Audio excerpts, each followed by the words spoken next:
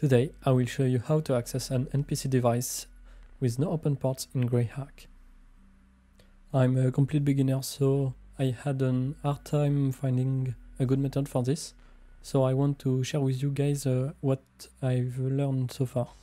There is uh, three big steps we need to take. So uh, first we need to create a reverse shell. Then we need to access a router connected to the target computer and use an exploit to gather all emails addresses uh, from the target computer. And finally, we need to send a funny mail to uh, one user on the target uh, computer and take control of it. Basically, a reverse shell allows you to execute commands on a remote device that is connected uh, to your server. So Start by renting an external server. You need to search for internet provider in your game browser and choose any available option. Then you need to navigate to services and rent uh, the 3 megabyte server. After that you will receive a mail with all the information you need to remotely connect to your server. Next, you need to visit the hack shop and purchase RShell server, RShell interface, and uh, librshell so then you can install this tool on your server. You can now run RShell server in your server terminal and run the command they give you.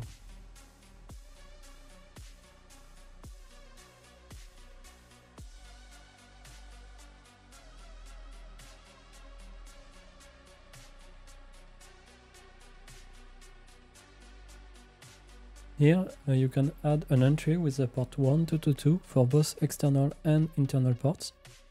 And for the LAN IP address you can use this one. Now you can save your entry and exit the browser.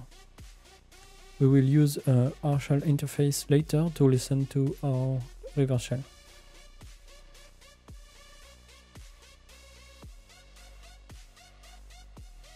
Before doing anything, make sure you have Nmap and Scanlib. You can get those in the hack shop and in the regular shop. So basically what we are gonna do is access the router connected to the target computer and from there we can access the data of the target computer by using an exploit on the router.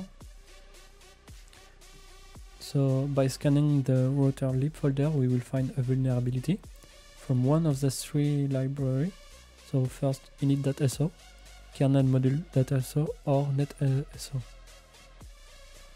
Then we will use one of the vulnerability to get the mails of the users on the target computer. And to do that we need to create our own exploit.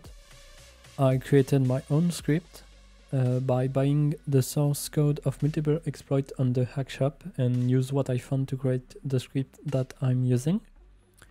I will put the script in the description, but I strongly recommend you to try and do it by yourself. It took me a few hours, but I learned a lot, and now I'm confident enough to create my own exploit without having to buy them in the hack shop. First, I define the parameters uh, we will use when running the command. Memory is the code of the memory zone where the vulnerability is. Vulnerability is the name of the vulnerability that we will use. IP address is the IP of the target computer. And lib is the library uh, where the vulnerability is. For instance, uh, init.so. Then we can import metaxploit and we will use um, overflow to exploit the vulnerability. Basically, this function can return different objects uh, depending on the vulnerability that we use. For instance, uh, it can be a file object, a shell object, or a computer object. Uh, so we need it to return a computer object. That's why we will use scanlib to search different vulnerability and use our script to find one that returns a computer object. Once we have a computer object, we use it to retrieve the data from the mail.txt of all users on the target computer. In my case, I'm in a network and I need to reach uh, this target, but as you can see on my um, terminal on the left, uh, this target has no open port, so I need to find a switch or a router directly connect to my target and I need to connect to it. Once you are connected to the router or the switch, you can add the build version of your script in the device. Don't forget to add metaxploit, scanlib and nmap.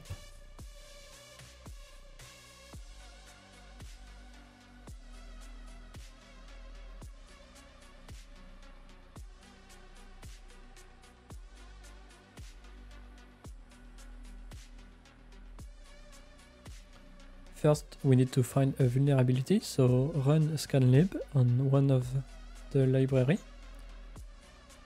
For instance, I start by running the command on the init.so library. Then the script will give me a list of memory zone code and select the first one. Then a list of vulnerability will show up.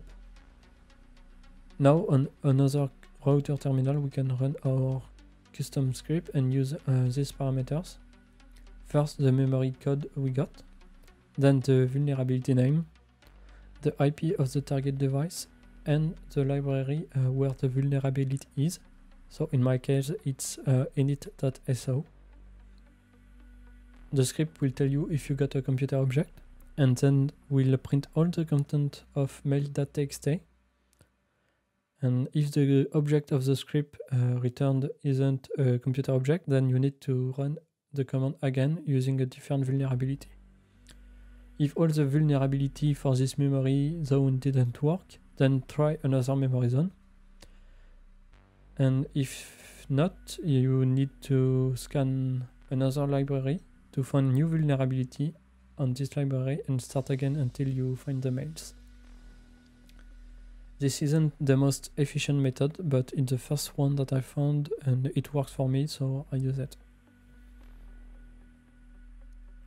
Now that you have obtained uh, the user's emails, you can log into one of these email accounts and uh, compose an email to a target computer user with a funny game as a subject.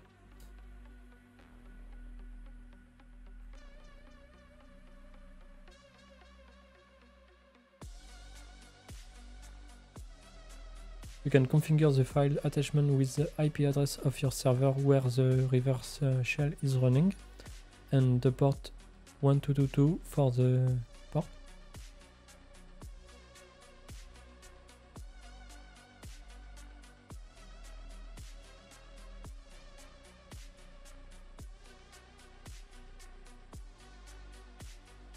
After sending uh, the email, open the terminal of your remote server run RShell interface and you will notice a connection or your reverse shell.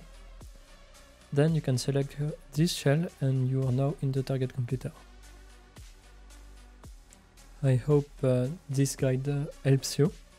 As a beginner I might have missed uh, something or there might be easier methods. Uh, if so, please let me know in the comments. Goodbye.